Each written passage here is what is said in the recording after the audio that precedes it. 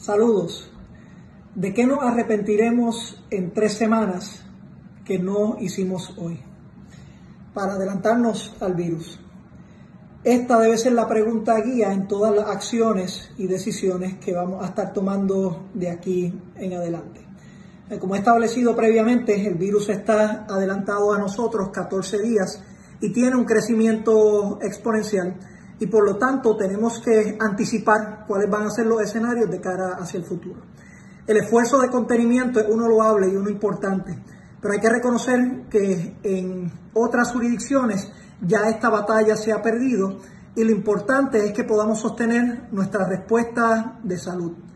Ante los videos que he estado demostrando, hay mucha gente que me ha preguntado que por qué estoy hablando de los casos de infección y no he tocado mucho el asunto de las muertes.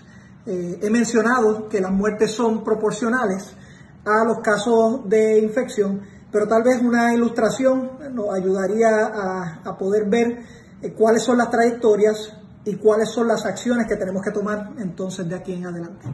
Recordemos que esta es la gráfica que hemos estado utilizando donde hay un sinnúmero de países y estos son los casos eh, de infectados que han estado creciendo de una forma exponencial, más o menos entre el 25 y el 35% de los casos a diario, salvo una que otra excepción.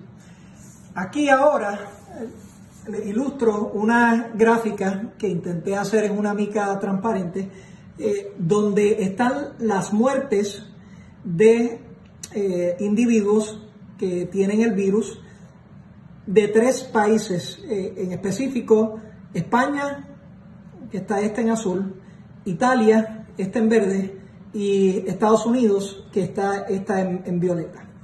La razón que quise hacer esto es para que vean que hay una trayectoria similar y aunque la escala es diferente, aquí empezaríamos en 10, 100, 1000, mientras que acá comienza en 100, 1000, 10.000.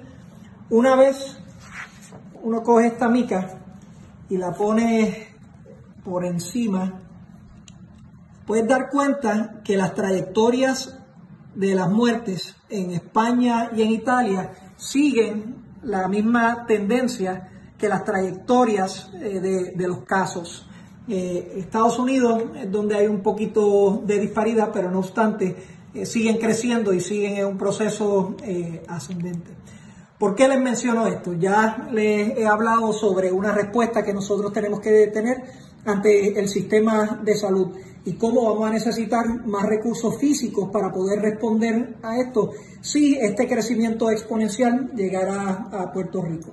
A eso hay que añadirle los recursos humanos también. He dado varias sugerencias en términos de buscar aquellos eh, médicos, enfermeros, enfermeras que están retirados para poder traerlos, estudiantes, eh, personas de organizaciones sin fines de lucro también para que puedan ayudar en otras tareas y para mantener eh, el calendario de estas personas ahora eh, un poquito más flexible de tal forma que de cara hacia el futuro no estén totalmente extenuados.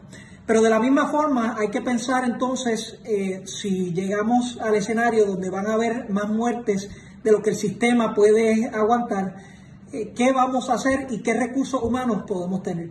Quiero hacer dos sugerencias hoy donde tenemos que solicitarle al gobierno federal esta ayuda.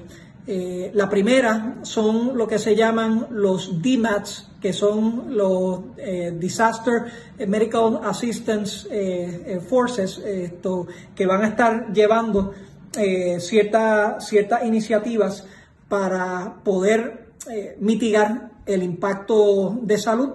Eh, esto incluye médicos, eh, enfermeros, esto, eh, paramédicos, personas que saben de logística, para ayudar en todo este proceso. Si uno mira un mapa de los Estados Unidos, puede ver varios focos ahora mismo, como Nueva York, California, esto, Luisiana, pero hay otras áreas que todavía están más atrás. Es imperativo entonces hacer esta solicitud de los DMATs para poder tener uno o dos equipos adicionales. Cada equipo experto que pueda venir a Puerto Rico es una ventaja que vamos a tener de cara hacia el futuro. Lo segundo es el equipo análogo eh, de los DMORTs. Eh, los, DMORTs eh, son los Disaster Mortuary Operational eh, Response Teams. Estos eh, los hemos utilizado en Puerto Rico antes. El gobierno tiene que solicitar estos equipos para que ayuden a, manejar la cantidad de muertos que pueden surgir de esta, de esta pandemia. si nos podemos anticipar a esto de nuevo, esperamos que el número de muertes no llegue a uno inmanejable pero debemos prepararnos para esa eventualidad. Y hoy tenemos que estar pensando en esa posibilidad.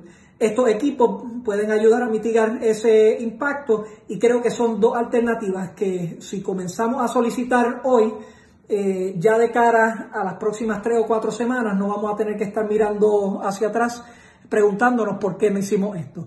Si trabajamos juntos, si seguimos los esfuerzos de contenimiento y distanciamiento social, eh, vamos a poder darle frente a esta pandemia. Este esfuerzo se gana unidos.